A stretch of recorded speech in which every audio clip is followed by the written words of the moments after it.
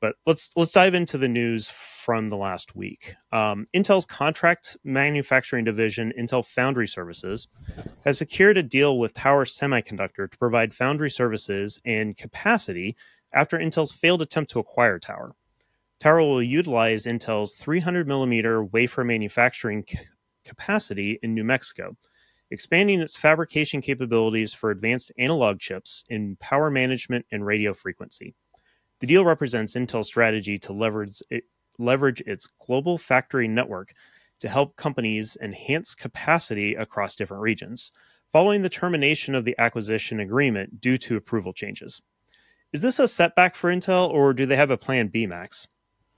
Well, I, I think, Brian, that uh, it's a setback for Intel because clearly they were looking at acquiring this company to kind of expand their capabilities and be fully in control of what needs to be done.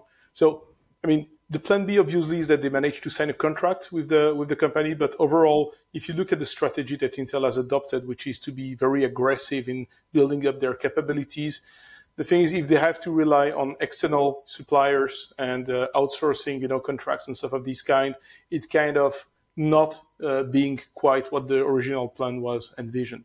So I think that uh, it's it's kind of the plan B, you know, for uh, for the moment but still it's, uh, it's definitely a setback. So with that, uh, uh, our next story is about HP. So um, HP is undergoing a transition from selling hardware to subscription-based models, leading to mixed results in its fiscal Q3 2023.